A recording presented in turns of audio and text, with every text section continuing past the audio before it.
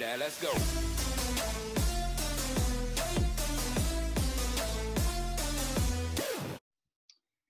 Daniel Pénoël, bonjour et merci de participer à ce congrès sur le thème de l'immunité. Nous allons passer un petit moment ensemble euh, pour parler des huiles essentielles et de l'immunité, justement. Mais dans un premier temps, je vais te laisser te présenter, si tu veux bien.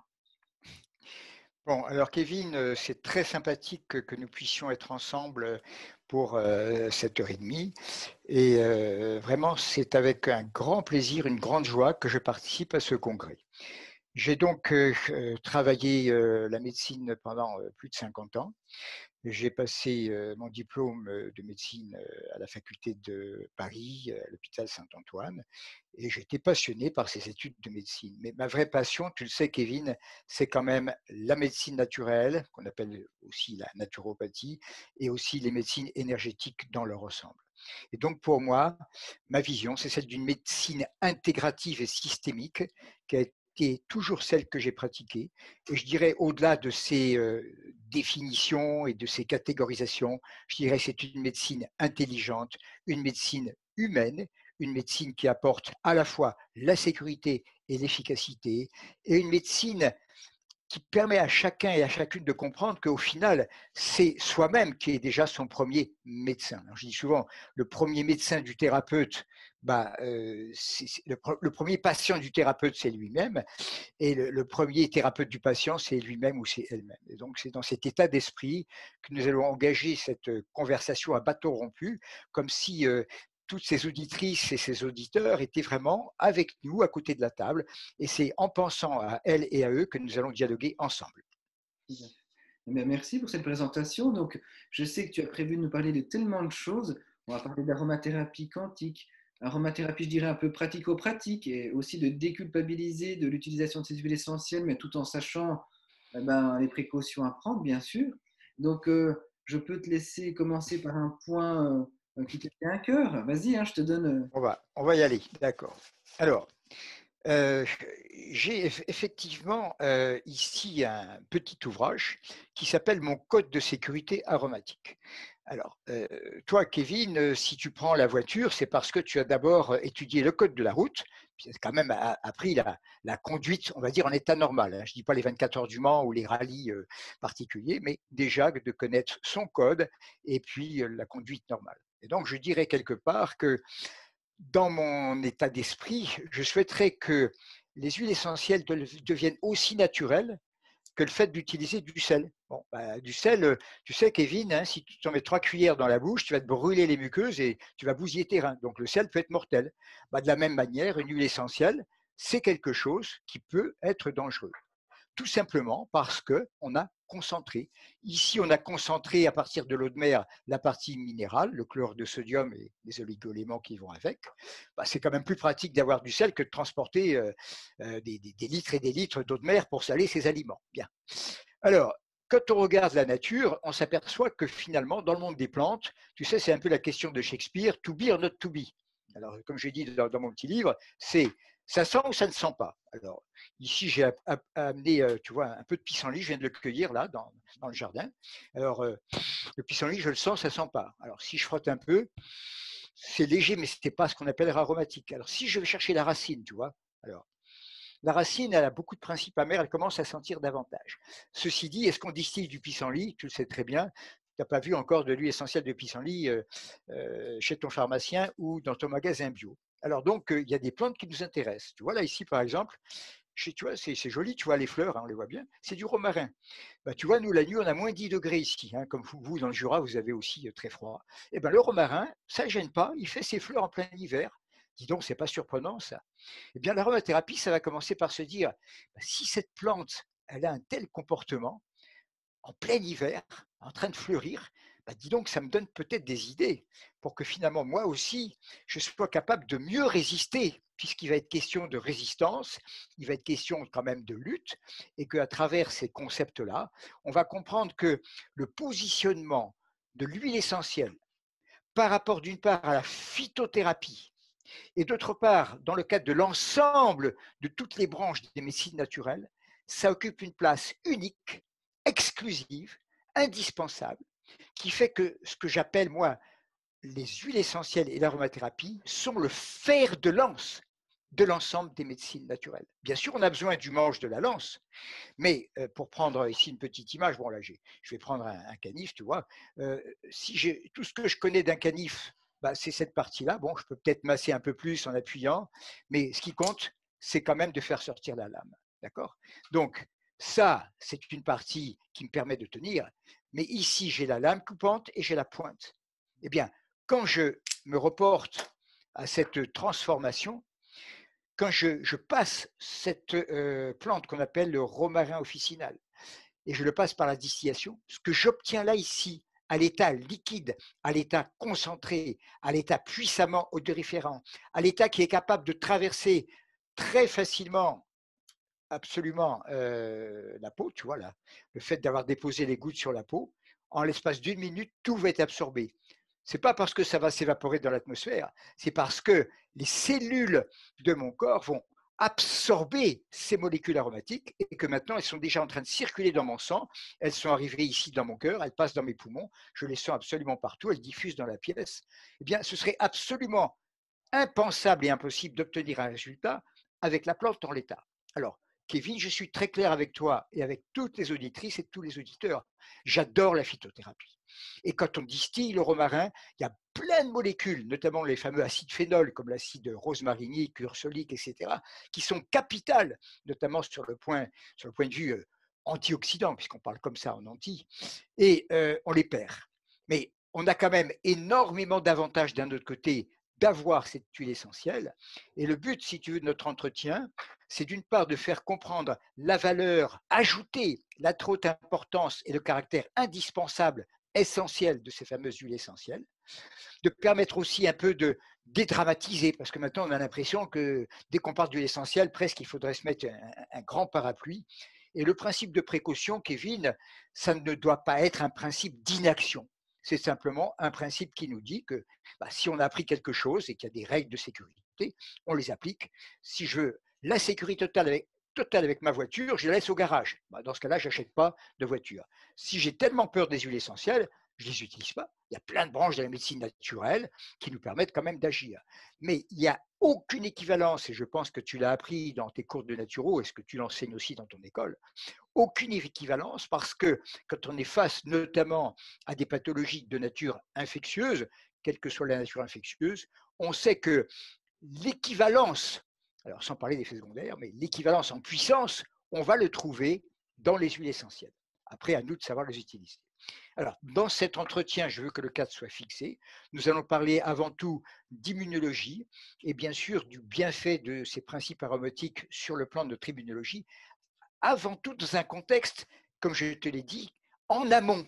Parce que quand la maladie est là, c'est ce que vous, en naturopathie, vous dites, c'est déjà, alors je ne vais pas dire trop tard, mais c'est un peu tard. Donc, comment faire pour qu'en amont, notre immunité soit toujours dans un état à la fois alerte, mais dans un état de contrôle. Et, là, je pense, Kevin, que euh, on va aborder un petit peu cette, cette idée qu'on voit partout de booster. Qu'est-ce que tu peux me dire, Kevin, à ce sujet? Partout, tu entends booster, booster, booster l'immunité. À ton tour. Ah bah justement, comme tu dis, j'aime bien ce que tu dis parce que euh, savoir doser et utiliser les huiles essentielles, c'est un art quand même. Parce que, comme tu dis, le fait d'utiliser peut-être des plantes ou des huiles essentielles ou des outils qui ne passent que leur temps à booster, booster, booster. Donc, veut dire que notre, système immunitaire est tellement en éveil que peut-être l'énergie est monopolisée pour ceci. Alors, euh, et peut-être que dans le fond, ça nous fatigue, je dirais. Alors que de nous mettre en alerte, mais correct et bien dosé, je pense que du coup, on arrive à, limiter un maximum de déclenchement de pathologies, comme tu dis, mais sans non plus s'épuiser, si je puis dire, je ne sais pas si on peut le dire comme ça, épuiser euh, bah, le fait de se booster tout le temps. On le sait, hein. l'orthorexie, c'est connu, hein, c'est que les gens qui prennent que des bonnes choses tout le temps parce qu'ils ont peur d'eux, en fait, bah, ça fait l'effet inverse. Donc, euh, bah, c'est très bien si, grâce à toi, on va pouvoir savoir un petit peu mieux jauger. C'est vraiment l'objectif. Donc, euh, tu vas nous en dire un peu plus. Voilà. Alors, donc, dans, ce mot booster qu'on voit dans tous les livres, y compris beaucoup de livres de médecine naturelle, je dis un petit peu cette remarque, on va dire c'est une boutade, mais ça a quand même du sens. Si quelqu'un est, idiot, bon, malheureusement, il y a des gens qui sont un, peu, un peu stupides sur la planète, on en a vu récemment dans certains pays, bon, ben, si tu boostes un idiot, tu auras encore plus d'actes idiots. Alors, moi, la première des choses, c'est de dire on va déjà rendre la personne intelligente si, elle veut bien de, écouter, hein, pour devenir intelligente. Et après, une fois qu'on a l'intelligence, effectivement, on peut se permettre de booster un peu. Mais en réalité, ce concept de booster euh, l'immunité, si on comprend vraiment l'intelligence des plantes aromatiques, ça ne s'applique pas vraiment. C'est cette histoire qu'il y a eu aussi, parce que le langage qu'on emploie couramment dans les livres d'aromathérapie, on a calqué sur le langage qu'on emploie dans le livre d'allopathie. Alors, par exemple, on a dit anti-inflammatoire. Alors, les gens sont partis là-dessus. On a commencé à dire ah bah oui, les huiles essentielles anti-inflammatoires, il faut les éviter. C'était absolument stupide. Tout ça à cause d'un mot qui ne s'applique pas aux huiles essentielles. Pour nous, tu as employé le mot ortho, et c'est très bien. Et nous, ce qu'on emploie dans notre jargon à nous, c'est le mot orthobio. On ajoute bio parce que ortho, c'est rigide, ça veut dire perpendiculaire. Mais orthobio, ça veut dire qu'on garde une souplesse, mais dans un certain éventail. Sorti de là, après, on tombe dans la pathologie. Mais orthobio, bah, oui, je suis euh, orthobiorexique, j'ai choisi d'être quand même dans cette direction, mais si je suis en Laponie et qu'il y a du poisson à manger, bah, je vais un petit peu euh, sortir du côté véganiste, et puis, etc. etc. Si je suis en hiver dans une situation où j'ai besoin de manger des choses plus chaudes, je ne vais pas forcément faire des cures de pamplemousse et de citron. tu comprends, c'était une logique de la vie. Donc, tu verras toujours le mot orthobio. Donc, on a choisi de dire, au lieu anti-inflammatoire, on dit orthobioflogique. Phlogos, tu sais, en grec, c'est le feu. Et donc, orthobioflogique, on va moduler, contrôler, accompagner la réaction de l'organisme qui a tendance des fois à en faire trop et en faire trop peu, trop vite, trop mal, pas au bon moment, un peu dérythmé. Eh bien, la naturopathie et la médecine énergétique comprend le sens du travail de l'organisme et va permettre de mettre certains garde-fous. Parce que euh, si tu montes à 41 de fièvre, ça ne veut pas dire que tu vas ramener la fièvre à 36, c'est très dangereux parce que la fièvre, c'est la première arme, mais on sait qu'il y a des moyens très simples de la ramener à ne serait-ce que 2 degrés en dessous, c'est déjà suffisant. Si tu as une réaction inflammatoire qui est en train de, créer des douleurs terribles et des œdèmes, etc., sait que c'est ton système immunitaire qui est en train d'hyper-réagir. On ne va pas employer des armes anti, sauf dans des cas extrêmes extrêmes. S'il y a une guêpe qui me pique dans la gorge, je ne vais pas refuser euh, une piqûre de corticoïde parce que c'est une histoire de vie et de mort. Mais si on se met de la cortisone dans, les poumons parce qu'on a un petit essoufflement et qu'on a diagnostiqué ça comme de l'asthme, c'est un diagnostic qu'on met à tout bout de champ, bah, il y a peut-être des choses plus intelligentes avec lesquelles on va commencer pour voir euh, pourquoi ces poumons réagissent de cette manière donc tout ça, c'est de la logique. Donc effectivement, on va rendre le système immunitaire intelligent et on va le rendre en capacité de contrôler ses réactions. Et nous, on appelle ça le passage de l'état réactionnel à l'état de réponse, qui veut dire une responsabilité et non pas la réaction violente, comme on peut voir dans, dans les batailles de rue. Mais du coup, avant qu'on continue, comment insister et faire vraiment entendre ce que tu viens de dire? Parce que là, tu parlais d'anti-inflammatoire. Quand quelqu'un, un patient vient maintenant, voilà, il a une douleur, il veut plus avoir mal, mais il n'a pas forcément envie de prendre le temps de comprendre pourquoi il a mal et que du coup, on travaille la cause, pour, et puis que ça met trop de temps à se mettre en place et qu'il est mal trop longtemps. Donc, pourquoi on a perdu ça et comment faire reprendre le temps de comprendre quelle est sa problématique et d'agir en fonction plutôt que de toujours casser l'information? Alors, le gros avantage avec euh, l'aromathérapie, avec les huiles essentielles, c'est que si, tu commences à mettre en place un traitement avec des bourgeons de cassis, avec euh, euh, des plantes extrêmement intéressantes, il faut un petit peu de temps avant de sentir l'effet. Et du fait que là, on a affaire à des molécules à l'état concentré, et qui vont agir de manière pratiquement immédiate, ça va donner confiance et ça va permettre de mettre en place après, les conseils nutritionnels, la partie phytothérapique, tout ce que tu as vu comme, bien sûr, euh, euh, intervenants qui sont venus apporter leur propre vue. Mais imagine que, le cas très simple, j'ai pris un coup, hein, j'ai été un peu brut, je me suis donné un coup, j'ai mal. Bon, je prends mon flacon de bande poivrée, qui va faire une réaction fraîche, qui va stopper la transmission de la douleur. Bah, en quelques secondes, déjà de plus avoir cette douleur qui était quand même extrêmement handicapante et paralysante, ah, c'est merveilleux si je ne connaissais pas les huiles essentielles, je vais dire, mais dis donc, si un seul petit flacon est capable de me donner résultat comme ça, maintenant je vais en, en apprendre plus. D'où la possibilité, grâce aux huiles essentielles, d'apporter un soulagement très rapide et derrière ça, d'apporter un discours pour que la personne puisse comprendre que dans la démarche naturelle, on a différents degrés d'intervention et que cette intervention qui est rapide, efficace, puissante, bien sûr dans certaines précautions, va nous ouvrir la porte pour ensuite comprendre, dans le cas des douleurs chroniques, qu'il y a peut-être un mode de vie aussi à adopter pour que cette douleur chronique ne soit pas intégrée à la vie d'une manière extrêmement handicapante et paralysante. Donc il y a l'ouverture immédiate provoqué par l'huile essentielle, aussi l'impact olfactif qui tout de suite nous fait euh, ouvrir nos poumons, notre olfaction. Quand, tu passes devant un élevage intensif, moi qui fais beaucoup de jogging, même sans y réfléchir, si je passe devant un élevage intensif de, de poulet, de dinde, de pintade, my nose knows, je dis comme ça en anglais, mon, nez il le sait. Et puis quand je passe devant euh, ces champs de lavande qu'on a chez nous, bah, my nose knows, je sais où est la vie, je sais où est la mort. après, à chacun faire ses choix. Mais ce que te dit le nez, ça, c'est absolument indispensable parce que ce n'est pas lié à ta conscience. Tu as cette petite zone ici qui est une zone émotionnelle et une zone aussi de survie. Et avant qu'un chat ou un chien se jette sur la nourriture, bah, il va respirer. Si ça ne va pas, il va s'éloigner. Nous, on se jette sur n'importe quoi dans les fast-foods. On a perdu cette idée que le sens de l'odorat, c'est pas seulement parce que ça sent bon, c'est d'abord que ce qui sent mauvais, c'est lié à des molécules toxiques et dangereuses, la putrécine, la cadavérine, euh, j'en passe, et des meilleurs, et que si on te dit bah euh, ça sent mauvais, c'est peut-être parce que tu vas t'empoisonner en mangeant une viande faisandée ou quand tu passes devant une poissonnerie pas très fraîche, tu n'as même pas besoin de savoir, tu n'iras pas chercher le poisson là. Donc le premier rôle de l'olfaction, c'est déjà de nous protéger et ensuite effectivement de nous attirer. Non mais très bien. Et du coup, je, comme je t'ai entendu parler anglais, ça me fait penser, avant qu'on continue dans les choses sérieuses, du coup, tu enseignes dans plusieurs pays, hein, tu m'avais dit, euh, à travers le monde. Et nous, Français, alors, comment on est positionné par rapport aux médecines douces et notamment l'aromathérapie? On est quand même dans le coup euh, ou euh, on est en retard par rapport à d'autres? Alors, c'est très, très intelligent ta question parce que en ce moment, on est en plein conflit. Euh, en, deux mots, si tu veux, l'aromathérapie, elle a vraiment commencé au sens médical en France dans les années 1930 euh, avec René Maurice Gattefossé. Ensuite, on a eu des pharmaciens, des médecins, des chirurgiens qui s'y sont intéressés et qui ont vraiment fait avancer les choses. Bien sûr, le docteur Vanet, tout le monde le connaît, avec aromathérapie, phytothérapie, traitement des maladies par les légumes, les fruits, etc.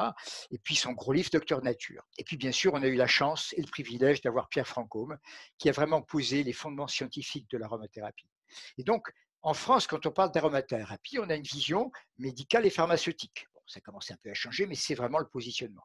Quand on sort de là, hein, notamment en Angleterre, en Amérique, on a en fait trois, quatre figures aromathérapie au sens courant. On disait à l'époque Lady Di, Hein, euh, la, princesse, elle allait faire une, une d'aromathérapie, alors elle s'allonge, petite musique douce, une ambiance un peu feutrée, et on met quelques gouttes de lavande dans beaucoup d'huile, parce que comme ça, ça coûte pas cher, hein, et puis on va masser la personne.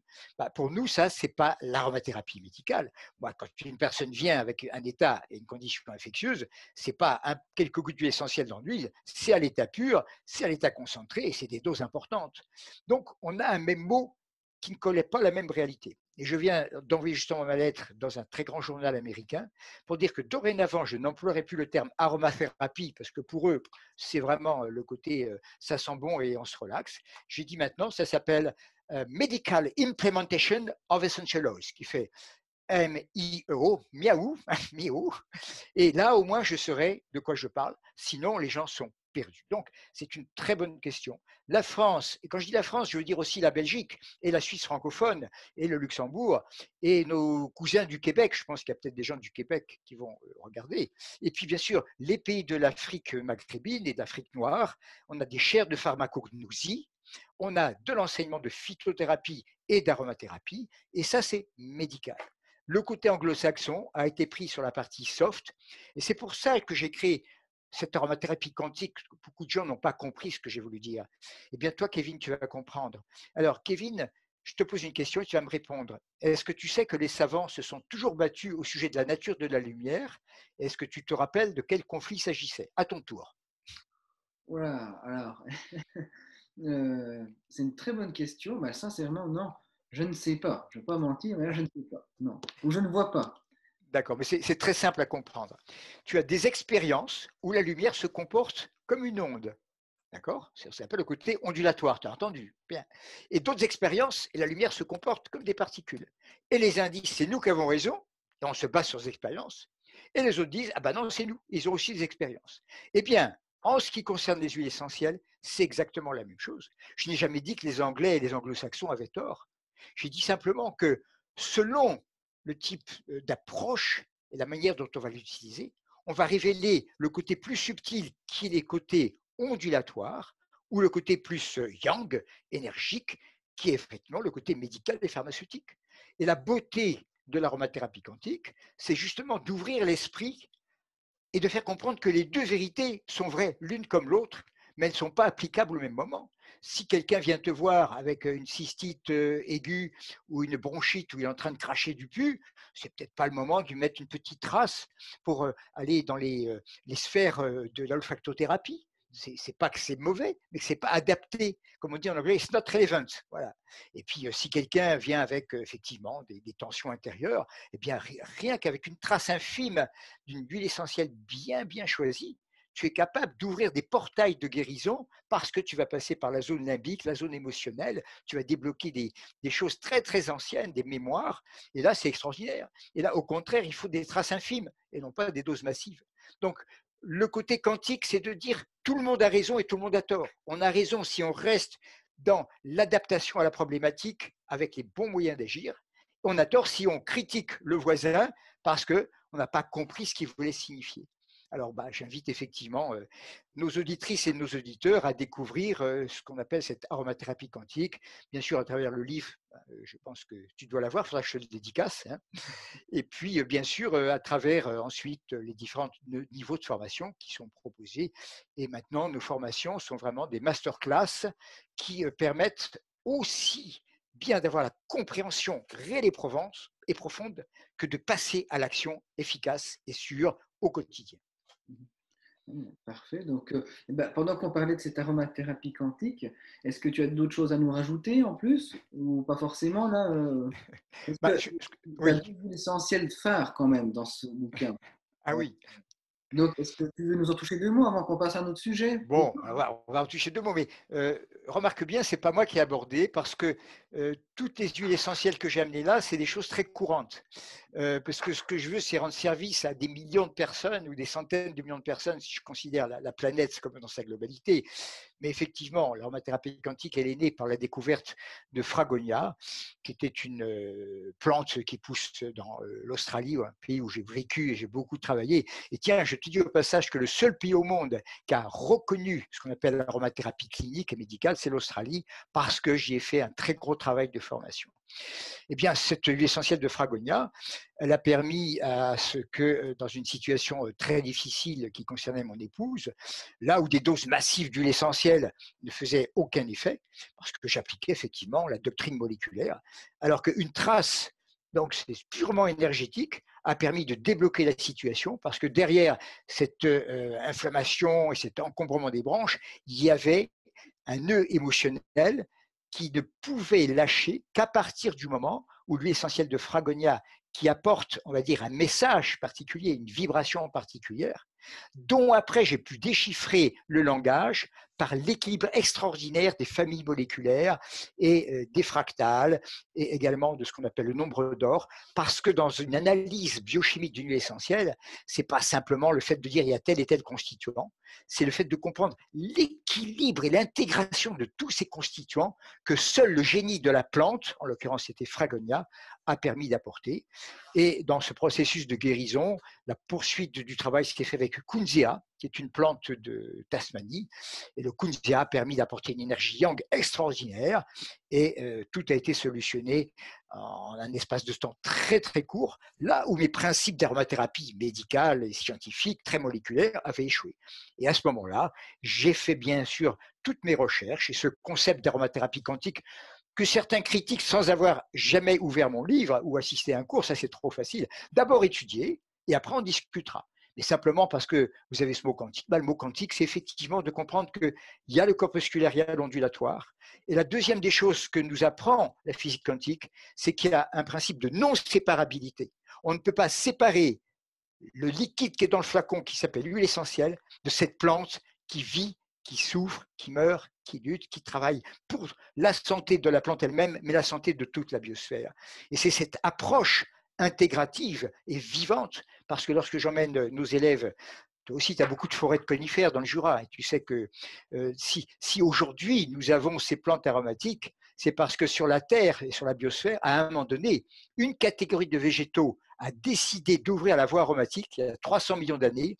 Et c'est pas à toi, Kevin, que je vais apprendre la beauté des pins, des sapins et des épicéas, puisque tu es entouré partout dans tes forêts de ces conifères. Et ce qui est surprenant, c'est de constater que pratiquement tous les conifères, à part euh, l'if et à part de très rares exceptions, ils sont tous aromatiques.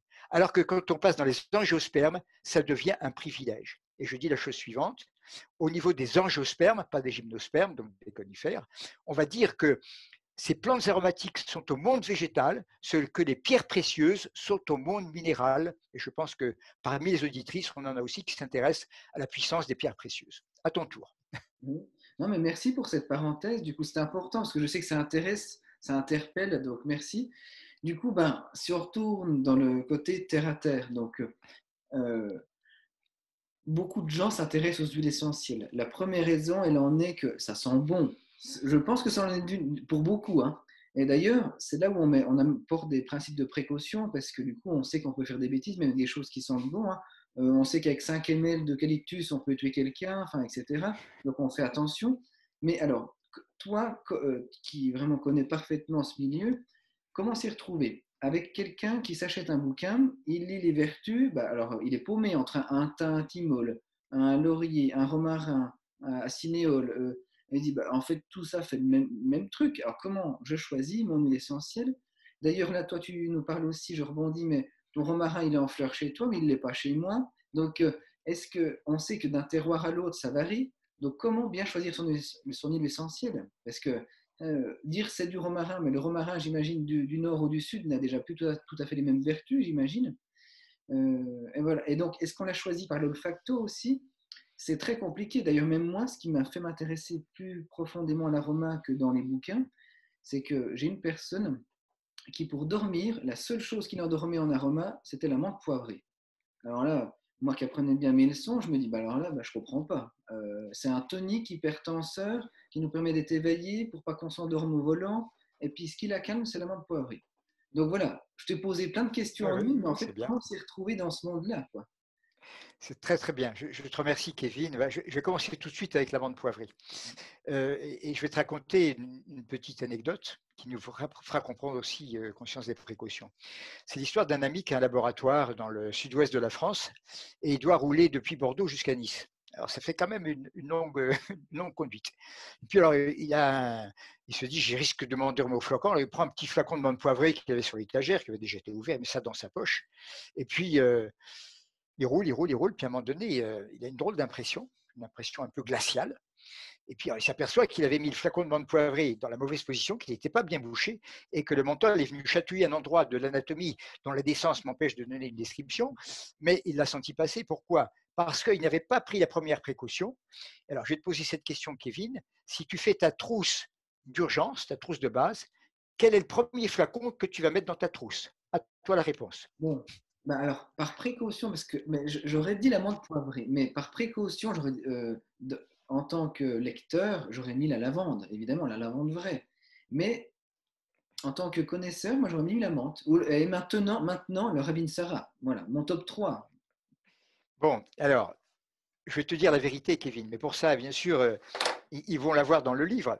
Parce qu'en réalité, est-ce que j'ai demandé quel est le flacon d'huile essentielle? Jamais de la, vie. J'ai dit quel est le flacon? Or, si par exemple tu as une trace d'huile essentielle et que tu te frottes l'œil, bah, tu le sens passer, d'accord?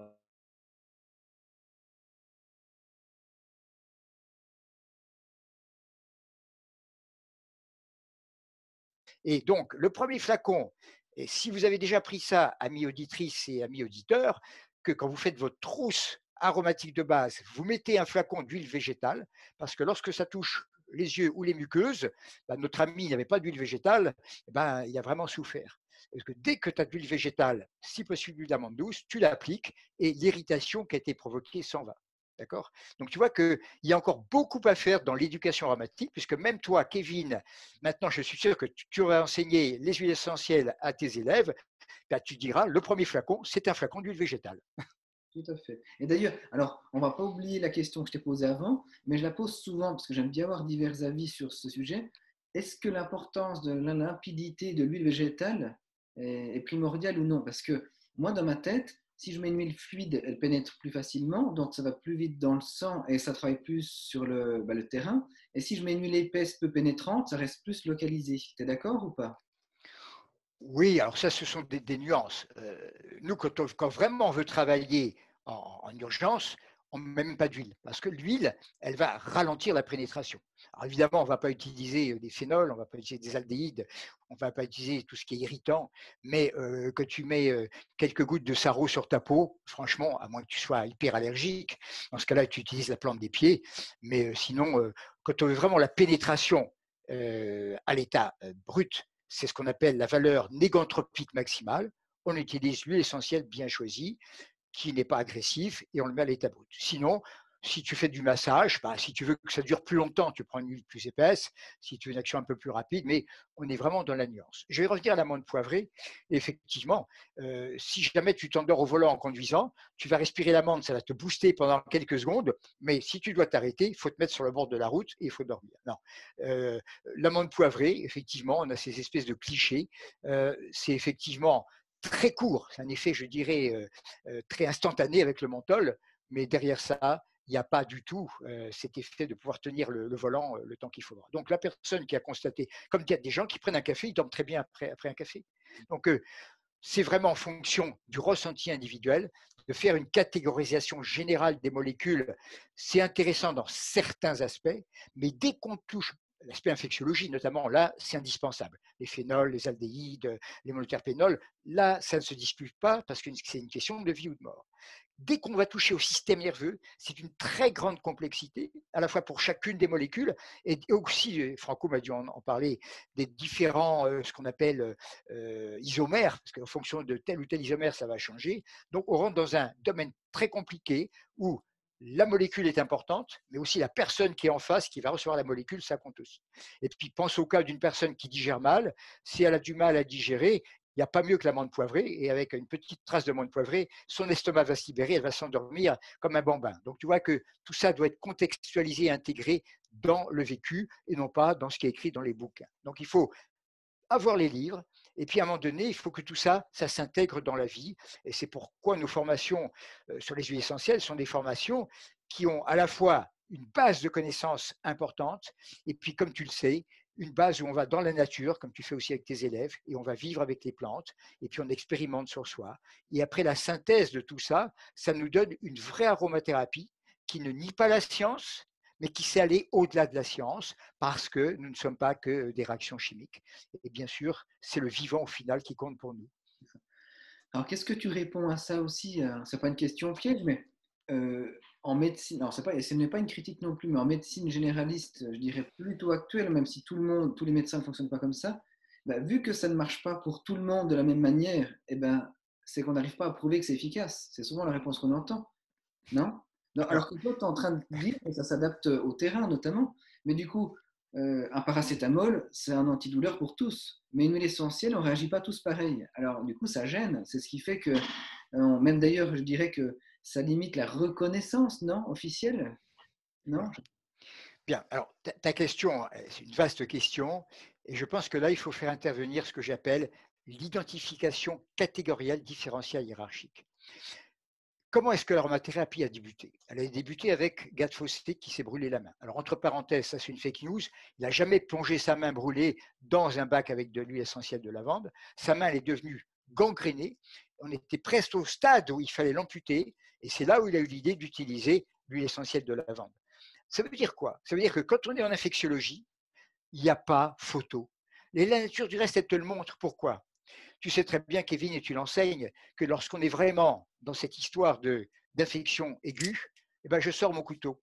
Et moi, l'aromathérapie, je l'enseigne comme ça, la chimie. Ici, c'est la pointe du couteau. D'accord? Quand tu donnes des stockades, tu n'utilises pas le manche, tu n'utilises pas la lame, tu utilises la pointe. Qu'est-ce que c'est que la pointe? C'est les phénols. Et la nature, elle t'a donné du thymol, du carbacol, de l'eugénol. Tu ajoutes le quatrième mousquetaire, donc je dis Athos, Porthos, Aramis. Le quatrième, c'est D'Artagnan, il est un peu différent des autres. Et bien voilà, avec ces quatre-là, tu sais quoi faire. Et là, quoi que tu fasses, quand tu fais des aromatogrammes, tu sais de toute façon que ce sont les majeurs de l'aromathérapie. Donc en infectiologie, je dis bien bactérienne, hein, je ne parle pas des virus. En infectiologie bactérienne, on n'a pas à se tromper. Et quand tu regardes le nombre de plantes qui nous apportent ces phénols ou la décinémique, c'est un nombre extrêmement réduit. La nature ne nous a pas égarés. Quand on passe au monoterpénol, aux alcools, ça c'est la lame. Et ça devient beaucoup plus subtil, beaucoup plus complexe, beaucoup plus affiné. On va commencer à travailler sur des huiles essentielles à la fois qui ont un côté on va dire anti-infectieux pour dire le langage ancien. Chez nous, on emploie maintenant d'autres termes, on dit ortho, orthomicrobiotique à visée antibactérienne. Et on va employer bien sûr ensuite ces huiles essentielles, notamment dans le traitement qui va suivre la phase aiguë. Parce qu'une fois que cette personne a passé son angine aiguë, ou sa bronchite aiguë, ou sa cystite aiguë, toi, en tant que naturopathe, tu ne vas pas t'arrêter au traitement de la aiguë tu vas entreprendre un traitement du terrain. Et c'est là où les monoterpénols, ou certaines huiles essentielles acétone, ou certaines huiles essentielles à ester vont permettre d'agir avec beaucoup plus de finesse, mais sur un temps très long. Donc, tout ce qui est molécules phénol, aldéhyde monoterpénique, ce sont des actions puissantes qui sont prouvées, prouvées, prouvées des millions de fois, aussi bien par tous les tests qu'on fait au niveau des bactéries ou des mycoses, que bien sûr les millions de cas qu'on a eus dans notre pratique. Et l'intérêt après, c'est d'affiner, parce que s'il s'agissait juste de, comprendre l'action dans la phase aiguë, on ne deviendrait pas des naturopathes pour ça. Et bien sûr, c'est le traitement de terrain qui va te permettre ensuite, avec toutes ces connaissances très fines et aussi ton intuition, d'entreprendre un travail correcteur, rectificateur, pour que ce terrain qui est un terrain à la fois, bien sûr, euh, biologique, mais aussi un terrain affectif et un terrain psychologique, voire spirituel, tout ça va se marier avec le pouvoir des plantes. Alors, dis-moi ton avis là-dessus. Non, mais je suis d'accord, tout à fait. Et même, euh, c'est très clair. Hein, donc, euh, dans la continuité de cette question, alors comment utiliser correctement, je dirais, les huiles essentielles, les bonnes voies? Parce que pareil, je me mets à la place d'un novice. Hein, il prend un bouquin, puis il a la voie interne, la voie externe, quand c'est des bouquins un peu poussés, il y a même les, composés euh, à faire créer en pharmacie de suppositoires. Euh, euh, il, y a des, mélanges à faire. Alors, quels sont les meilleurs moyens? Est-ce que tous les moyens sont bons? Est-ce qu'il y a des moyens à privilégier suivant telle ou telle pathologie? Est-ce qu'on s'en fiche? Voilà. Bien. Alors, ça, c'est l'objet d'un ce qu'on appelle chez nous une masterclass, parce qu'il faut comprendre la physiopathologie, il faut comprendre l'anatomie, il faut comprendre toutes les structures. Ici, Kevin, on est avec euh, des gens passionnés, passionnants, mais on ne va pas pour l'instant les entraîner dans des cours de, physiopathologie et euh, d'anatomie. Il faut comprendre que si on veut rendre service, comme je dis toujours, c'est en amont. C'est-à-dire que si tu as eu un accident de voiture et que tu n'as pas mis ta ceinture de sécurité, et puis maintenant que tu as la cage thoracique enfoncée par le volant, ça ne sert à rien de mettre ta ceinture de sécurité. De la même manière, si tu as oublié de souscrire à une assurance et que l'accident est arrivé, tu ne dis pas à l'assureur, bah, maintenant je vais régler mon assurance pour couvrir l'accident. Ah on va couvrir l'accident futur, mais pas l'accident du passé. Donc pour moi, l'huile essentielle, si on veut vraiment en tirer le pouvoir magique, c'est de l'intégrer à sa vie. Comment l'intégrer à sa vie? Eh bien là, on va commencer justement à aider nos auditrices, nos auditeurs à faire ces gestes que j'appelle un petit peu les 24 heures aromatiques. Et ces 24 heures aromatiques, c'est pas de soigner telle maladie, de guérir telle pathologie, d'entreprendre un programme thérapeutique par rapport à une sclérose en plaques ou une maladie chronique très grave. Non, c'est de dire j'apporte de la vie. Pour moi, c'est ça. C'est les huiles essentielles pour la vie, pour aider la vie et pour le reste de ma vie. Et ici, je voudrais bien démédicaliser et dépharmaceutiser les huiles essentielles. Comme tu sais, Kevin, moi j'ai travaillé depuis bien bien des années, et quand j'étais dans ma pratique au départ, nous, nous, réalisions une ordonnance, une prescription médicale. La patiente ou le patient allait chez son pharmacien. À l'époque, le pharmacien pouvait réaliser, maintenant c'est terminé, parce que les préparatoires, ça n'existe plus, c'est envoyé dans des grands laboratoires. Et finalement, ça coûte très cher. Et à l'époque, tout était remboursé, ce qui était à base d'huile essentielle, à base de plantes, alors que ce soit des sirops, des suppôts, euh, des onguents, des gélules à absorber, tout était pris en charge à 90% par l'assurance maladie. La mutuelle donnait les 10% restants. Et c'est pour ça qu'on a fait tellement de progrès, nous, médecins, dans la connaissance des pathologies médicales, parce qu'on a pu soigner aussi bien des cas extrêmement aigus que des cas désespérément chroniques et que nous avons vu par millions, parce que je te parle de ça depuis le docteur Vanet, donc dans les 50, et le déremboursement a commencé dans les années 90. Mais des milliers de médecins en France, en Belgique, en Suisse romande, au Luxembourg, nos amis euh, du, Québec, tout ça, nous avons pu travailler médicalement avec des huiles essentielles. Puis à l'époque, on ne demandait pas une autorisation pour le droit de mettre une goutte. Non, on était dans un monde où le principe de précaution, on le vivait naturellement parce qu'on a du bon sens. Maintenant, si tu veux faire un essai dans un hôpital, rien que pour respirer une petite trace d'huile essentielle, il faut remplir des dossiers à n'en plus finir pour avoir des autorisations ministérielles. Autrement dit, on a tué Mais heureusement que le public est là et c'est ce public, grâce aussi à toi, Kevin, et je te félicite pour cette initiative remarquable et courageuse, de pouvoir diffuser largement ces informations, que ce soit au sujet de l'aromathérapie et de toutes les autres branches que tu as généreusement invitées dans ce congrès, afin que chacune et chacun se dise, la santé, c'est entre mes mains. Eh bien, si la santé, c'est entre mes mains, qu'est-ce que je vais pouvoir faire au quotidien avec les essentiels? Non pas parce que je suis malade, mais parce que là, je considère le côté un peu adaptogène et je veux créer effectivement cette espèce de bien-être, de potentiel vital pour un temps très court, pour un coût extrêmement réduit, avec si possible du plaisir et que je puisse le faire partager en famille. Et eh ben, c'est dans cette dernière partie qu'on va un petit peu euh, se faire plaisir, si tu veux bien. Et si, voilà. Bon programme, je pense que tout le monde attend la suite maintenant. Bien. Euh, Alors, le, choix des huiles essentielles, pour moi, si tu veux, avant de me jeter sur choisir une huile essentielle, j'établis une liste de critères. Et c'est en fonction de ces listes de critères, toujours l'identification catégorielle, différentielle, hiérarchique, je veux quoi? Je veux évidemment avoir quelque chose qui soit dans la sécurité. On ne va pas choisir une huile essentielle euh, à risque. Là, on est vraiment en train de rendre service à toute la population française et étrangère. Bah, je veux une essentielle qui ait quand même une certaine efficacité. Ça, c'est quand même les deux critères qu'on retrouve toujours. C'est la fameuse balance bénéfice-risque. Je veux une huile essentielle qui soit disponible largement et qui soit éco-responsable. Si tu me dis que le bois de rose, euh, bah, c'est pas très cher, euh, euh, c'est pas dangereux, c'est efficace, mais si tu me dis qu'on est en train de détruire la forêt amazonienne, bah, moi je vais enlever le bois de rose. Mon critère, c'est effectivement l'éco-responsabilité. Je sais que le cinnamome cinnamomum camphora chémotype à euh, l'inalol, qu'on appelle le chiou. D'accord? Alors, ils disent des fois bois de haut, mais en fait, ce n'est pas le bois, parce que si c'était le bois, je refuserais. C'est les feuilles qu'on distille. Il y en a en grande abondance. Eh bien, ça, c'est un critère majeur. Je veux aussi une huile essentielle dont le coût soit abordable. Parce que si euh, je propose des huiles essentielles euh, introuvables pour le commun des mortels ou inatteignables pour le commun des mortels, ça ne m'intéresse pas et puis si possible, qu'il soit agréable à utiliser. Ce n'est pas le critère majeur. Tu vas me dire, le titri, ça t'envoie pas au septième ciel, mais ça fait tellement de bien qu'on peut accepter que ça a une petite senteur de poivre. Après tout, euh, on n'est pas simplement avec la rose et le jasmin. voilà, ça c'est mes critères. Maintenant que j'ai mes critères, je vais faire des propositions où chacun pourra après faire le choix, je dirais, un petit peu préférentiel. Il y a une molécule de base qu'on appelle le cinéole. Bien en hiver, la période qu'on traverse en ce moment, c'est une molécule importante qui, nous protège. Elle est toujours accompagnée aussi par des monoterpènes. Alors, il y a une huile essentielle. Voilà, là, je vais la, je montrer. Je l'ai mise ici dans un, petit flacon spray. D'accord?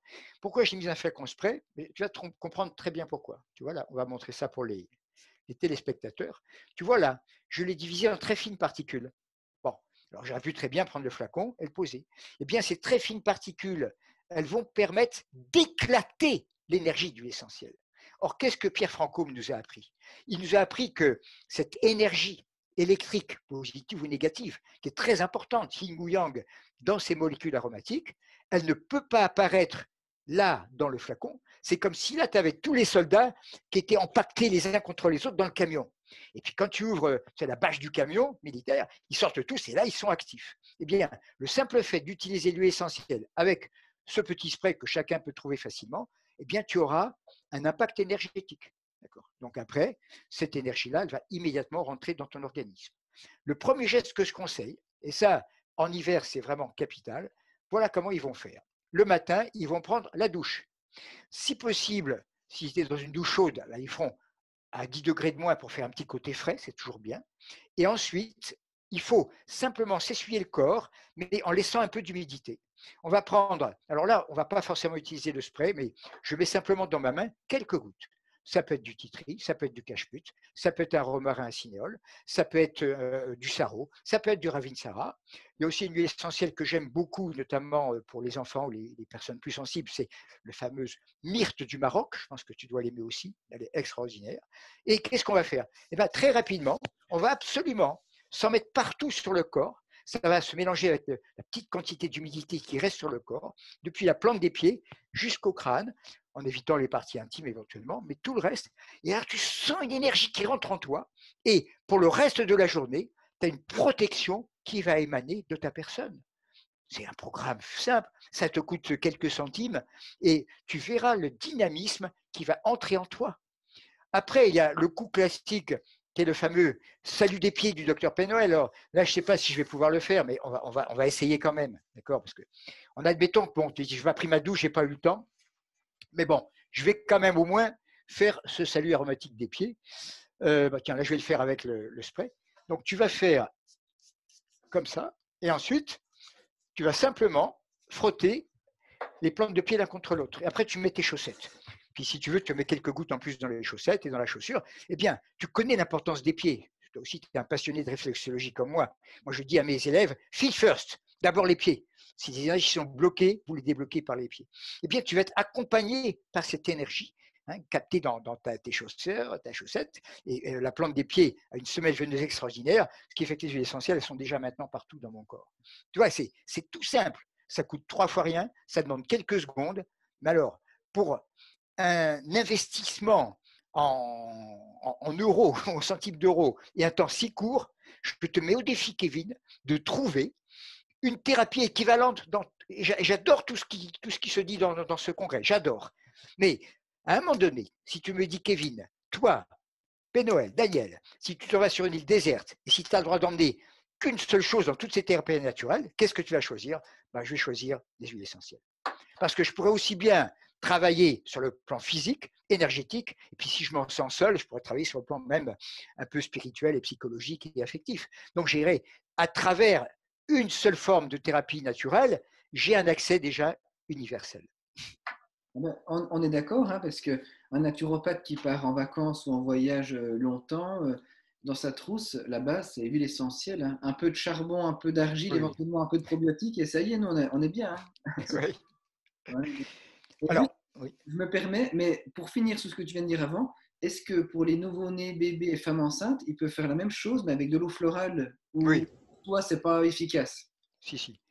si tu, as raison de poser la question. Alors, quand, tu as dit qu'ils prennent leur trousse, tu n'oublies pas de leur dire de mettre le flacon d'huile végétale avec maintenant, d'accord? Donc, effectivement, euh, moi j'ai beaucoup travaillé en médecine infantile, en pédiatrie, avec même des nouveau-nés. Enfin, je veux dire, on a la chance d'avoir effectivement des eaux florales. Alors, l'eau florale, attention, une eau florale euh, d'origan ou de sarriette, niette, parce que tu as quand même une teneur en phénol, ce qui fait qu'elle est finalement pas aussi dangereuse que l'essentiel, mais très dangereuse. Mais prends le cas d'une eau florale de thym linalol, une eau florale de, fleurs d'oranger, euh, de camomille. Là, tu as vraiment euh, des substances qui sont à haute valeur ajoutée, mais qui sont différentes de l'essentiel. Moi, je sais qu'il y a des. on m'appelait souvent, même des fois au téléphone, on me demandait un conseil. voilà, j'ai mon enfant qui a un mois, commence à être un petit peu pris, mais pourtant je l'allais, etc. Bon, on pense que les gens sont vraiment. Si, bien sûr l'enfant prend du lait de vache, il faut essayer de, voir ce côté-là, bien sûr. Mais avec un petit spray d'eau florale de linalol, le secret, c'est de le répéter très souvent. Si tu fais un coup le matin, un coup le soir, ça ne sert à rien. En le répétant souvent, quand l'enfant y est pris, tu verras que ça marche excellemment. Donc, bravo pour les eaux florales. Évidemment, l'eau florale, on ne peut pas la transporter aussi facilement quand on s'en va en voyage, mais d'avoir un peu d'eau florale, ne serait-ce que de camomille romaine, d'éthylenol, c'est des choses vraiment basiques. Donc, OK pour l'eau florale. Mais on va revenir évidemment aux différents gestes qu'on va pouvoir accomplir dans la journée. Euh, alors, il y a, un, geste qu'on va leur montrer. Bon, ça fait partie des, petites choses sympathiques. Alors, on va. Voilà, j'ai été chercher une, vieille pomme, là, une pomme bio. Hein. Donc, euh, nos amis vont la voir. Et je vais prendre. Euh, là, tu vois, on peut prendre un cure-dent ou un petit pic. D'accord? Qu'est-ce qu'on va faire avec ça? Euh, Bien, je vais prendre. Alors, mon, huile essentielle de poivrée. Je sais ce que tu vas faire. Et toi qui me l'as appris dans tes bouquins. Oui. Je le fais à chaque fois avec mes élèves. Ah, ils adorent. Hein. Alors, par contre, des fois, je leur ai fait tenter des choses. Il y avait des gros loupés quand même hein, au niveau des goûts. Des oui, non, mais. Bon, admettons que euh, tu, sens que tu es un petit peu pris en chiffonné au niveau du nez, c'est pas très agréable. Euh, moi, je n'aime pas l'idée des comprimés neutres, j'aime pas l'idée du miel, j'aime pas l'idée du sucre. Hein, je pense qu'on est d'accord là-dessus. Donc, je prends mon petit morceau de pomme et je vais euh, griffer un petit peu, hein, en ayant trempé euh, mon cure-dent, je vais griffer ma pomme. Et à ce moment-là, je vais recevoir ces molécules aromatiques qui vont me dégager les voies respiratoires, qui vont me nettoyer la gorge. Et puis, bien sûr, ensuite, je vais avaler. Eh bien, c'est absolument simple à faire. Et avec euh, un coût infime, j'ai un effet extrêmement positif. Et chaque fois qu'on l'a fait, effectivement, bah, les gens découvrent la, facilité. Je vais boire un peu. Mais ça me permet aussi de. Alors, ça, oh, c'est pas le sujet du tout aujourd'hui, hein, mais du coup, on peut utiliser l'aromathérapie en cuisine ponctuellement pour dépanner. Euh, euh, j'ai déjà fait des choses sympas, hein, avec du chocolat, euh, avec du petit grain bigarade, quand on n'a plus de, fleurs d'oranger, etc., ou des crêpes. On peut faire des petits trucs sympas. Alors, il faut faire attention, mais euh, ça peut dépanner. Oui. Les, huiles essentielles en, cuisine, c'est euh, quelque chose qui s'intègre à euh, cette, je ne dis même pas cette prévention, à ce mode de vie aromatique. bien sûr, on choisit des huiles essentielles adaptées.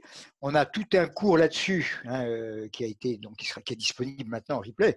On a bien distingué alloguesique, tout ce qui est salé, glucogesique, tout ce qui est sucré, amphoguesique, parce que ce sont des choses qui vont dans le sucré de salé. Prends l'exemple du basilic tropical. Eh ben, tu sais qu'on peut le mettre aussi bien dans le côté sucré, un peu comme l'anis, et dans le côté salé. Donc ça, ça fait partie effectivement, euh, la, la, voie orale, mais d'une façon agréable dans la cuisine, c'est quelque chose dont il faut prendre l'habitude. Et franchement, souvent les, épices, des fois en plus, elles s'éventent que là, avec les huiles essentielles, on a quelque chose qui garde sa pleine saveur, sa pleine flaveur, et ça, c'est aussi un gros avantage. Il n'empêche que savoir utiliser des épices, c'est quelque chose d'important. À ce sujet, il y a un point que je voudrais aborder, parce que bien souvent, on nous dit Ah, huile essentielle, fenêtre thérapeutique, on fait 8 jours, etc. etc. Bon.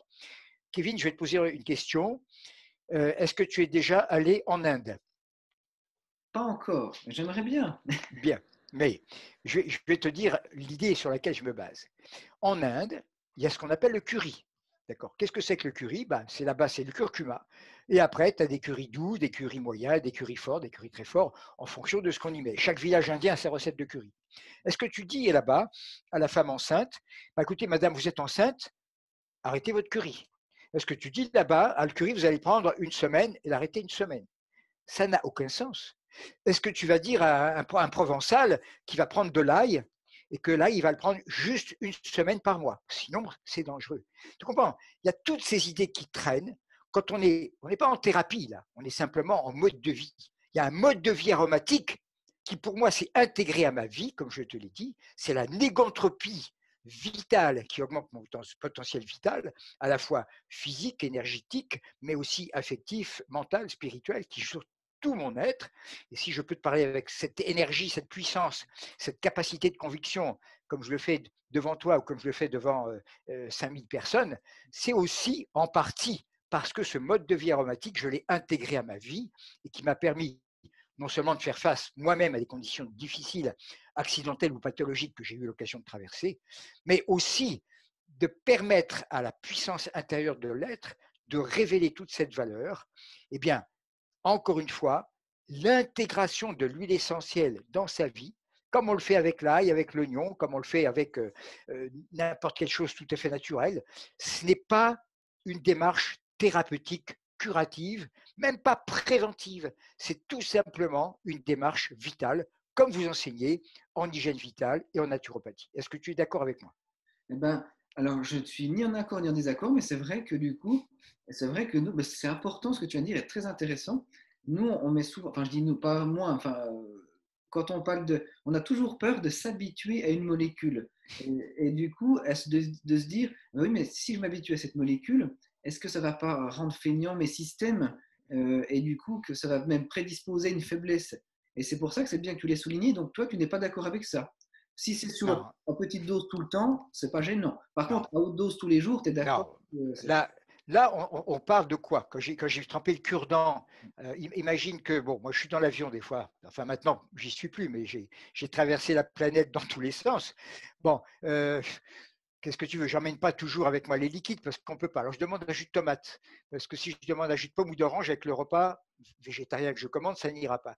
Et je trempe mon cure-dent dans l'huile essentielle de basilic tropicale et après je le tourne dans le jus de tomate. Bon, est-ce que j'ai mis une goutte? J'ai même pas mis une goutte. C'est délicieux. Je digère bien. Je suis anti antispasmé. Je suis vraiment, je me sens très bien. Donc on est là sur des toutes petites choses.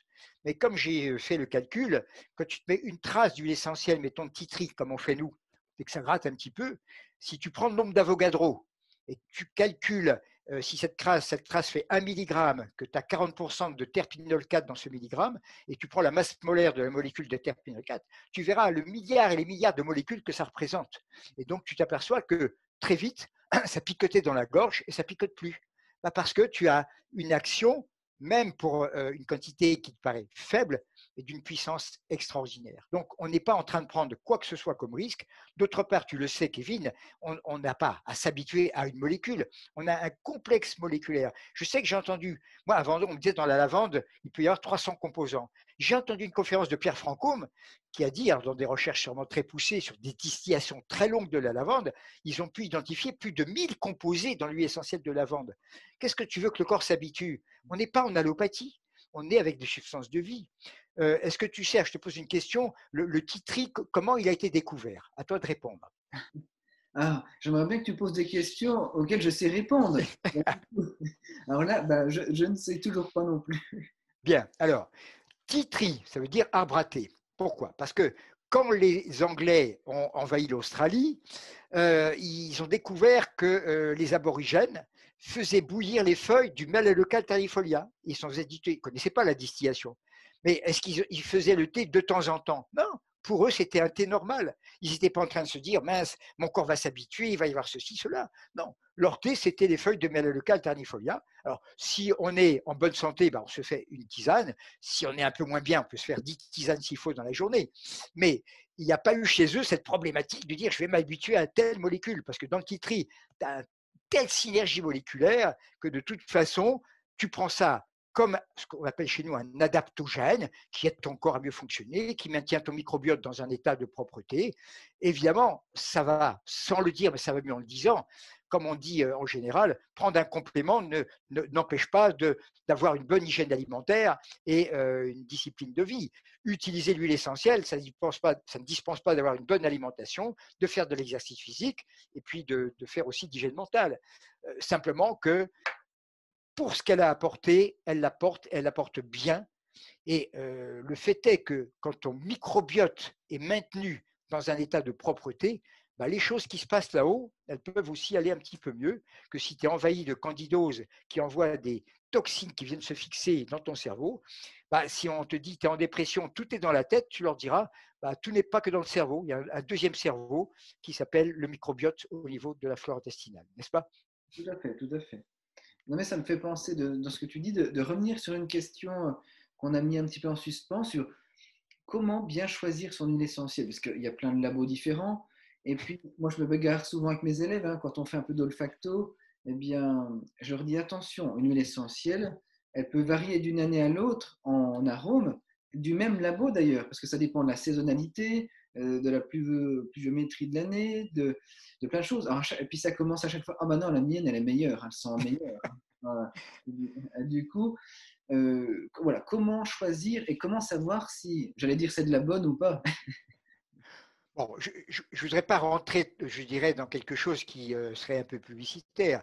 Mm. Je pense que maintenant, et surtout grâce au travail de Pierre Franco, parce qu'il y a un demi-siècle en arrière, il y avait vraiment n'importe quoi. C'est le premier qui a apporté les critères de qualité d'une huile essentielle. Donc ces critères de qualité maintenant, on les connaît moi, j'aurais plutôt tendance à, choisir un laboratoire pas forcément euh, gigantesque. Euh, bon, après, bien sûr, tout dépend de la bourse de chacun. Euh, mais si j'ai un, petit peu plus de finances, je préfère mettre un petit peu plus cher avec un laboratoire qui a un sourcing plus limité qu'avec un laboratoire qui bon, est capable d'aller dans le monde entier, d'acheter des marchés entiers et de se comporter comme des, des ultra-capitalistes. Malheureusement, si tu veux, le mot bio, ça n'implique pas forcément une notion d'éco-responsabilité. Donc pour moi, je dirais, euh, la, notion que je mettrais en plus du bio, c'est une notion d'éco-responsabilité. Et ce n'est pas forcément ceux qui font le plus de bruit qui sont dans la démarche éco-responsable. Donc euh, le bio, on l'aura, d'accord. Euh, nous, on a aussi des petits producteurs qu'on connaît qui ne vont pas avoir euh, la marque bio parce qu'ils sont plus bio que bio. Ils vont cueillir leurs plantes dans la montagne et les distillent. Et s'ils devaient passer par la certification, ça leur coûterait tellement cher qu'ils ne pourraient pas le faire. Donc quand tu vas, toi, te balader dans, des coins reculés et puis que tu vois des petits producteurs qui ont distillé leurs huiles essentielles, bah, écoute, profites-en. Donc on va dire au niveau de ce qui se passe maintenant en France, en gros, on est quand même à peu près sécuritaire, mais pensez à ce qu'il y a comme démarche derrière le laboratoire qui vous propose et quels sont les critères et les garanties qu'il vous donne. Parce que euh, des euh, camomilles euh, qui sont cultivées dans des pays de l'Est, où on voit que les travailleurs sont exploités pire que des esclaves, bah pour moi, la vibration qu'il y aura au final dans l'huile essentielle, elle ne sera pas forcément la meilleure.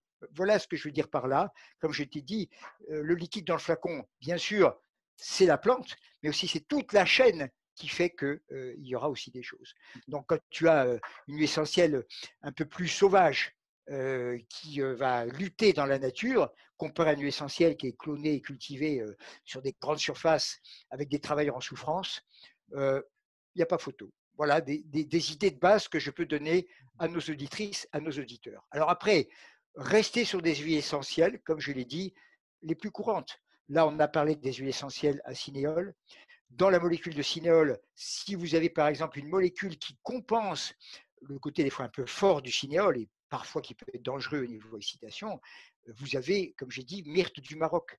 C'est euh, un arbre qui nous donne quand même un taux de cinéole déjà de l'ordre de 40-45%, mais avec un ester, l'acétate de myrténil, qui vient apporter une compensation. Donc, dans les choix des huiles essentielles, plus tu trouveras un équilibre dans la, dans la composition d'huile essentielle, eh bien, ce sera intéressant. Et sinon, en faisant tes propres mélanges, bah, tu créeras toi-même l'équilibre qui te convient. Dans la continuité de, on est un peu sur le flacon là. Tu m'as posé des questions pièges, je vais essayer de t'en poser un petit peu aussi. Euh, du coup, euh, une huile essentielle, euh, est-ce que ça se périme? Parce qu'on en entend. Déjà, on dit faut, il y en a qui disent faut les mettre au frais, d'autres pas du tout. Il y en a qui disent que ça se périme, d'autres qui disent non, ça ne se périme pas, c'est que les principes volatiles euh, de notre de tête, par exemple, ben, s'en vont, mais il reste comme des vertus, mais moindres. Euh, quel est ton avis là-dessus? Quelle est ton analyse là-dessus? Oui, ben, c'est une analyse. Alors, il faut être clair.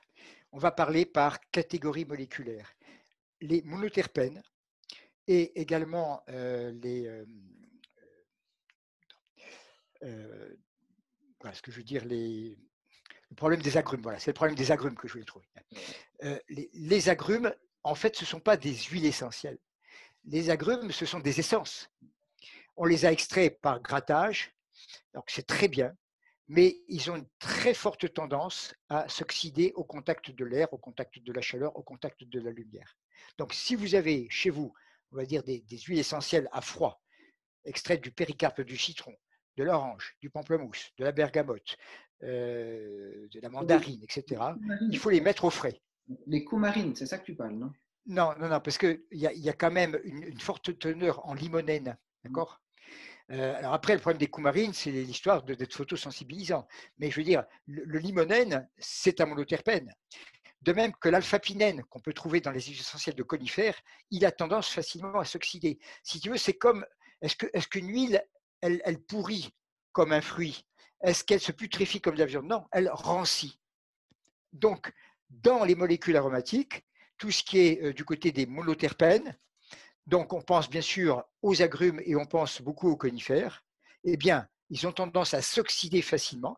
Et à ce moment-là, tu le sens. Tu dis, ah bah, ça sent pas comme avant. Alors, utilise-le pour laver les toilettes ou pour d'autres usages, mais pas pour l'usage, on va dire, personnel, humain. D'accord? Voilà. Donc, ça, c'est vraiment ce côté-là. Sinon, une huile essentielle, si elle est bien bouchée et si elle est dans un endroit frais, elle peut se conserver très longtemps. Et ton critère, ce sera toujours d'analyser par l'olfaction. Quand il en reste peu dans le flacon, en principe, il faudrait pouvoir le transférer dans un tout petit flacon, parce que c'est le contact avec l'air qui va poser le plus gros problème. Mais on a retrouvé des huiles essentielles euh, qui étaient bien bien tenues. Donc, quand tu as des dates sur les flacons, il faut savoir que ce n'est pas des dates comme sur euh, euh, un morceau de viande ou un yaourt. C'est des dates optimales d'utilisation. Et encore une fois, de nose nose, tu la sens et tu sais déjà ce qu'il en est. D'accord. Et puis, dernière question piège, parce qu'il faut quand même que je réussisse à te piéger un petit coup. Euh, du coup, on entend parler aussi du codigoutte en plastique. Et on dit que bah, des fois, les, certains arômes, hein, des phénols, des choses puissantes, attaqueraient un petit peu le plastique et qu'on en, en, intégrerait aussi un petit peu. Euh, je sais que ça existe en céramique. quel est ton avis là-dessus? Alors, encore une fois, il faudra voir ça par catégorie de molécules. Ce que je peux te dire d'un point de vue analytique et scientifique, c'est qu'il y a un laboratoire en France qui, est connu, euh, notamment en pharmacie, euh, et ce laboratoire s'est posé la question. Et effectivement, ils ont fait des analyses très poussées. A priori, il n'y aurait pas de problème. Alors, si tu veux, on peut être plus royaliste que le roi, et à ce moment-là, euh, il faudrait des boutons, bouchons en liège ou en verre. Bon, ça augmenterait les coûts. Pour finalement un résultat qui n'en vaut pas la peine. Donc, globalement, il peut y avoir des exceptions, mais globalement, d'après les tests qui ont été faits, euh, il s'agit de, de Cosbionate, hein, je ne fais pas de réclame, mais j'aime bien rendre hommage à, ceux qui ont fait ce travail et qui l'ont financé. Euh, la problématique euh, ne se présente pas, en tout cas, il faudra peut-être faire des recherches, je dirais, au, au, nanopicogramme, enfin, hein, on absorbe bien d'autres choses bien pires. Déjà, prendre de l'eau en bouteille, on ne sait même pas si c'est vraiment sûr. Tu comprends Donc, restons logiques. Si on veut rendre service à des millions de personnes, pour l'instant, on va rester avec euh, ce qui est disponible sur le marché. Hein. non, mais super. Bon, bah, je, ne t'aurais pas vraiment piégé, c'est dommage, mais bon. alors, pour, alors, pour aller euh, peut-être sur la fin, hein, après on peut rester des heures ensemble. je pense que les gens sont contents de t'écouter. Euh, est-ce que tu aurais quelque chose à nous conseiller pour l'hiver? On est dans l'hiver là, puis on va pas parler de, la pathologie euh, très en vogue actuelle, hein, si tu vois ce que je veux dire, mais si on veut bah, justement euh, maintenir, on n'a pas boosté, elle est bien retenue, mais maintenir un petit capital immunitaire intéressant, quel serait le top 3 de Monsieur Pénoël? Voilà, je sais pas, ou un petit mélange. Alors, alors on, va, on, va, être clair, on va parler de ce qu'on appelle les interfaces. Hein. Donc, il y a ce que je vais faire au niveau de la peau. Et à ce moment-là, vous le faites en fonction aussi de, de, ce que vous aimez, parce qu'il faut aussi que ce soit plaisant, puis aussi de l'entourage, parce que si vous arrivez avec quelque chose qui émane de vous, et puis euh, à la fac, à l'école euh, ou au travail, hein, ça sent quoi ça? Je sais bien qu'il y a du télétravail, mais maintenant, il y en a quand même qui travaillent aussi. Donc, il faut tenir compte aussi de l'impact olfactif qu'on a sur autrui. Donc, vous tenez compte de vos choix et de ce qui se passe. Alors, c'est vrai que pour moi personnellement, je vais apprécier l'huile essentielle de Sarou. Hein, c'est une huile essentielle que je trouve très très sympathique. mais en huile essentielle à cinéole, j'ai quand même beaucoup de choix. Ça peut être du Ravinsara. je pense que le, le c'est une très bonne huile essentielle, très abordable, produite en grande abondance qui a tendance pour moi à être un peu plus. Euh, des fois, l'eucalyptus, c'est un peu particulier. Le cache-pute, pour moi, passerait mieux. Euh, donc euh, voilà, je, je, donne un, petit choix de cinéole. Et puis bon, myrte, j'aime beaucoup. Ça, ça, peut faire partie, je dirais, de, de ce, choix cinéolé. Hein. Si vous voulez un choix un peu coniféral, bah, vous avez effectivement, et chez toi ça pousse beaucoup, le pin sylvestre. Et puis si vous voulez dire bonjour à nos amis du Canada, vous avez une très belle huile essentielle qui est le Picea mariana. D'accord? Donc ça, c'est bien pour cet usage qu'on va dire euh, extérieur. Dans ce que je vais utiliser par la voie interne, sans parler de faire des suppos, des gélules, etc., euh, très souvent, je vais utiliser euh, ma goutte de titri. Hein. et puis, si je veux faire un petit travail un peu plus complet, je vais me faire un petit mélange avec du titri, avec du citron, avec un petit peu de romarin verbenone. Après, je peux y ajouter une huile essentielle un, peu plus particulière qui peut m'intéresser. Donc, j'ajouterai, si c'est le côté gustatif, bon, je peux ajouter même du sapin baumier. Je l'aime beaucoup, le sapin baumier. Il a en plus un côté un peu glucophage, un peu sucré. Eh bien ça, je peux m'en mettre une goutte, je dis bien une goutte, que je vais mélanger dans de la compote et ça passera très bien.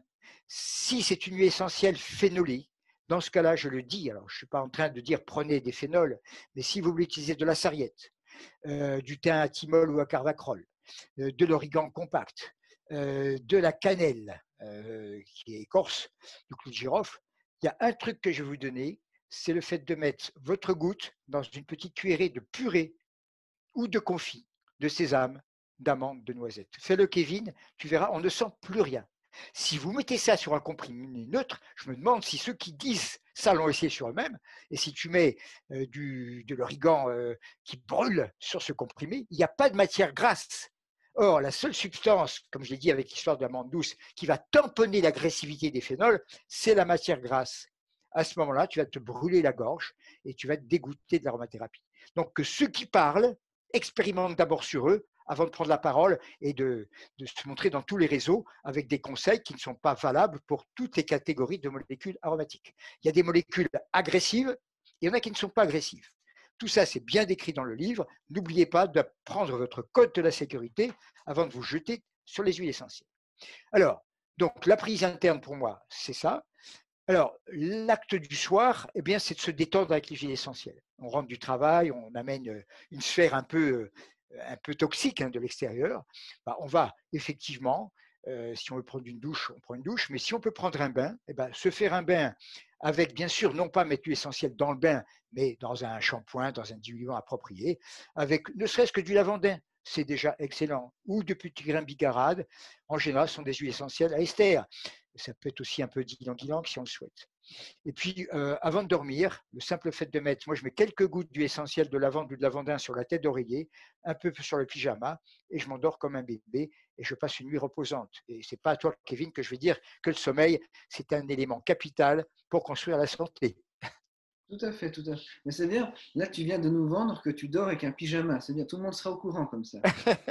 ça peut être un tricot de corps. Alors, encore un conseil. Si, si euh, les gens sont des fois un peu sensibles au niveau de la peau, eh bien, ne mettez pas l'huile essentielle sur la peau, mettez-la quelques gouttes sur le tricot de corps ou éventuellement sur la deuxième couche. De toute façon, ça va émaner, vous en profiterez. Et euh, le problème, quand on le met sur la peau et quand on est un peu allergique, là, je vais rectifier une chose qui est, qui est quand même grave à mon avis. On vous dit, si vous êtes, faites le test d'allergie mettez au pli du coude, s'il ne se passe rien, vous n'êtes pas allergique. Mais c'est stupide, puisqu'en immunologie, on sait qu'il faut déjà avoir un contact ou deux ou trois préalables pour que l'allergie se développe tu vois, toutes ces idées fausses que tu vois dans tous les bouquins, parce que c'est de la copie, de copie, de copie et de la mauvaise copie, moi, docteur P. je suis là pour établir la vérité. Elle est simple, elle est claire. Il suffit de connaître le système immunitaire pour se rendre compte que ce conseil-là ne tient pas debout. Alors, si c'est irritant, c'est une chose, mais l'irritation n'est pas la réaction allergique. C'est deux choses totalement distinctes. Non, mais c'est bien de leur préciser, parce que comme tu dis, ça, ça fait partie des enseignements de base euh, euh, bah, de beaucoup d'écoles d'ailleurs. Hein. Donc, dont même nous, hein, à un moment, donc euh, voilà, hein, c'est sûr. donc, bah, merci tout d'abord. Donc, on a échantillonné sur plein de choses. Est-ce que tu as quelque chose qui te tient à cœur, que tu voudrais nous parler? Moi, il y a juste une chose pendant que j'y pense. On n'a même pas nommé le fait que les huiles essentielles étaient liposolubles, mais tu l'as sous-entendu. mais il y en a on est tellement dedans, nous, donc euh, c'est bien de le préciser pour ceux qui veulent, voudraient se lancer. Euh, mais après, est-ce que tu as des choses qui tiennent à cœur qu'on n'a pas abordées ensemble? Avant de nous parler un petit peu de tes produits aussi, c'est bien de nous parler de tes huiles essentielles quand même, à la fin, pour conclure. Euh, alors, moi, ce que je veux surtout, c'est redonner de la confiance. Ça, c'est très important. Il y a maintenant, alors tu comprends par exemple au niveau des enfants, on dit pas avant trois ans, pas avant six ans, pas avant. Alors finalement, quand Quand Non, je veux dire, à un moment donné, euh, il n'y a, pas de problème. Si tu mets ne serait-ce qu'une goutte d'huile essentielle sous la plante du pied d'un petit, tu n'es pas en train de mettre sa vie en danger. Puis si tu mets une goutte d'huile essentielle de talinalol sous chaque plante de pied, ça a l'air de rien, mais euh, ça va compléter l'eau florale de talinalol que tu pourras mettre sur son thorax. Chez les enfants, j'utilise plus souvent effectivement le, côté euh, tricot de corps ou quelquefois, quand ils ont un petit, petite casquette, une petite capuche, on peut en mettre sur la capuche, c'est de créer une aura aromatique. Il faut être, très pratique, très concret, très simple, très pragmatique, trouver des solutions. Si ça, ça ne marche pas, je vais trouver autre chose. Il ne faudrait pas vous dégoûter des huiles essentielles parce qu'on vous a inculqué de la peur Il ne faudrait pas vous éloigner des huiles essentielles parce que euh, sur un site, on a dit ceci, cela, ou qu'on a rapporté un accident. Euh, bien sûr, des accidents, il peut y en avoir. C'est pour ça qu'on vous demande d'apprendre le code. Mais après, ça s'intégrera très simplement dans votre vie. Vous aurez tellement de bénéfices immenses et généreux grâce aux huiles essentielles que euh, de commencer avec tellement de précautions, de peurs et de restrictions, bon, ben, si vraiment vous avez la peur, faites autre chose. Hein, ne rentrez pas dans les huiles essentielles. Le côté de l'hyposoluble, bien, j'y ai insisté indirectement, puisque je t'ai dit maintenant, quand tu donneras les cours, ce sera d'abord le flacon d'huile végétale avant toutes les huiles essentielles. ensuite, il faut vraiment que vous puissiez faire un budget très équilibré. Donc, ne vous lancez pas dans des huiles essentielles trop rares et trop précieuses. Euh, tu es au courant, Kevin, qu'à un moment donné, tout le monde s'est précipité sur l'huile essentielle de laurier. Bon, ça a été lancé. Et euh, en fin de compte, quand on analyse les travaux à partir duquel euh, c'est parti, on s'aperçoit qu'ils avaient distillé à titre expérimental, des baies de laurier.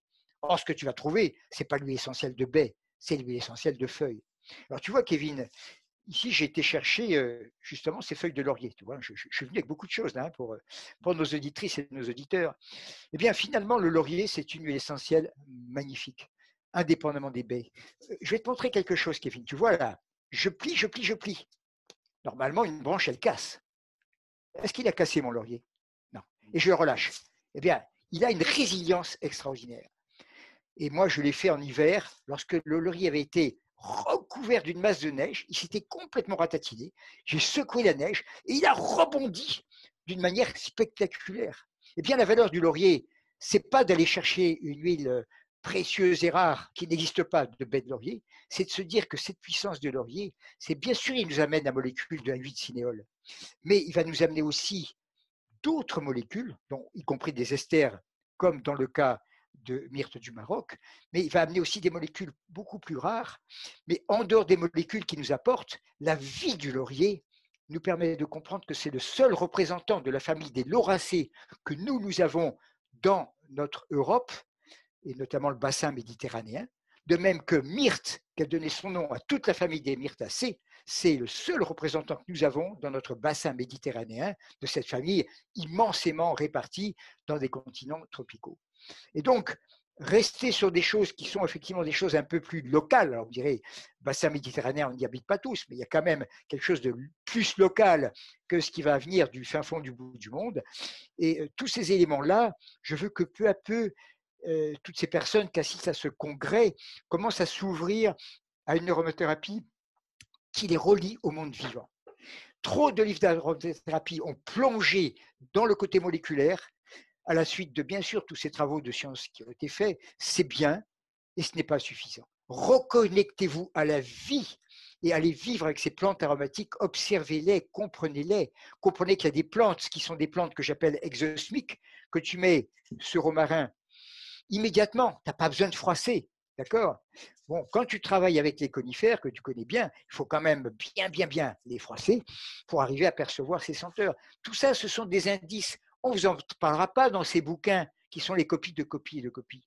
Nous, dans nos formations, nous allons vous faire vivre ce que c'est que cette aromathérapie reliée au vivant, aussi bien le vivant de la plante et des animaux et de la terre, et comme tu disais aussi des biotopes, toutes ces nuances vont intervenir, et puis ensuite la vie qui pour vous est une vie à la fois physique et physiologique, et puis aussi une vie affective, et aussi une vie intellectuelle, et aussi une vie spirituelle. C'est tout ça que nous avons l'opportunité de vous faire vivre. Et c'est pour ça que plutôt que de parler de tels produits, moi ce qui m'intéresse, c'est de mettre en valeur les cours que nous donnons maintenant et euh, obligés par la situation. Maintenant, nous développons, comme toi tu le fais, l'enseignement virtuel à distance. Nous avons donc des masterclass, notamment sur l'utilisation de la voix buccale, qui est un sujet très important. Le prochain qui a lieu, alors quand ça va passer, bien sûr, ça aura déjà lieu, puisque le 31 janvier, il va y avoir une masterclass par rapport au problème des viroses respiratoires.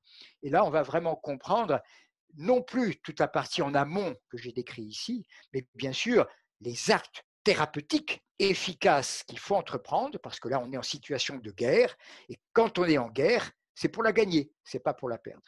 Et là, basé sur mes 40 ans de pratique avec les cas les plus extrêmes, je vais leur expliquer. Je voudrais te raconter, tiens, pour finir, Kevin, je vais te raconter une histoire vraie et je pense que ça va te toucher. Est-ce que ça t'intéresse? Ah ben, Bien sûr. bien. Eh bien, euh, voilà l'histoire que j'ai vécue. Il s'agit d'un de tes collègues, un naturopathe qui est connu, euh, qui a aussi écrit euh, des livres très intéressants, qui en plus travaille dans le milieu que tu connais sûrement. Tu, connais sûrement tout ce qui se développe maintenant sur jeux des randonnées. Tout à fait, bien sûr. Voilà. Bien. Donc, il est vraiment impliqué là-dedans, très, très, très sincère complètement hygiène, hygiène, hein, tu vois, un sang pur, des humeurs pures, tout ce que Marchesso peut enseigner ou, ou Daniel Kieffer, ou tout, ça, pur, pur, pur. Puis vient me voir, il est épuisé. Pourquoi? Parce que bah, il s'est chopé quand même un virus. Il faut bien comprendre que c'est une réalité, les virus. N'allez pas dire, oh, il suffit que, il faut que. Non, non, non. Lui qui est parfaitement pur, il se chope ce virus. Alors, c'est toujours délicat quand on a un collègue, parce qu'on dit, après tout, le naturopathe, il connaît tout, il sait tout faire. Non, tu oublies qu'il est naturopathe. D'accord? C'est quelqu'un de normal. Quand une, une, femme gynéco, elle accouche, c'est une femme qui accouche, c'est pas une femme gynéco. D'accord? Quand un chirurgien se casse la jambe, bah, c'est un homme qui a une jambe cassée, c'est plus un chirurgien. D'accord? Donc, euh, quand il est venu voir, bon, je lui ai dit, t'es crevé, je vais te faire un arrêt de travail. Et puis, euh, bon, euh, tu, petit travail tout simple, tu vois, tu vas te reposer. Ça. Bah, tiens, alors ça, c'était le jeudi. Je, reçois l'appel de dimanche. Hein, sa femme me téléphone, elle me dit, c'est pas possible, c'est pas possible. Il un épuisement total. Donc, il est venu au cabinet un dimanche matin. Hein, je peux dire, euh, on, peut te le certifier. J'ai passé trois heures avec lui. Hein, alors là, avec des techniques très, très avancées. Après, j'ai dit vraiment tout ce qu'il fallait faire et c'est sa femme qui lui a fait. Parce que quand tu es dans une virose comme ça, Kevin, tu n'as même plus à force de prendre un flacon et te masser. C'est vrai ou c'est pas vrai? Ça, c'est vrai. Tout à fait. C'est vrai. D'accord. Et c'est spécifique vraiment pour les atteintes virales. Même tes, tes mitochondries, elles fonctionnent même plus. D'accord? Tu fabriques plus ton énergie. Et euh, là, on l'a sorti d'un cas difficile, bon après il y a eu la convalescence, mais ce sont ces techniques-là, avec cette puissance, cette efficacité, tout en ayant la parfaite sécurité. Et juste pour terminer, je, vais donner quand même un petit truc, un petit secret là, tu vois, parce que vraiment ils sont toutes et tous sympas. Tu as une substance qui n'est pas distillée. Et cette substance qui n'est pas distillée, ça s'appelle un baume. Est-ce que ça te dit quelque chose?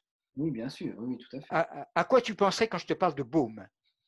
Alors, moi, c'est une huile essentielle dans une matière grasse, euh, épaisse, euh, voilà, peu pénétrante. Voilà, moi je résume comme ça. Attention, Kevin, hein, il faut que tu t'inscrives à nos cours là. Hein. non, quand on dit un baume, on n'a pas mis de matière grasse, parce que comme tu sais, la matière grasse va ralentir la pénétration. Non, là, je t'emmène avec moi dans euh, les forêts d'Amazonie. Comment ils se soignent, ces Indiens? Ils n'ont pas d'alambic pour distiller. Ils prennent le tronc de l'arbre, ils l'incisent, et là va s'écouler comme si c'était le système immunitaire de la plante, ce qu'on appelle une oléorésine, qu'on traduit dans le langage courant par le baume. Et là, je te parle du copaillé. Et donc, la clé de la sortie, c'est d'utiliser non pas l'huile essentielle de baume de copahu, mais le baume de copahu. C'est comme si, si tu veux, au lieu de cuire l'aliment, tu prenais l'aliment cru.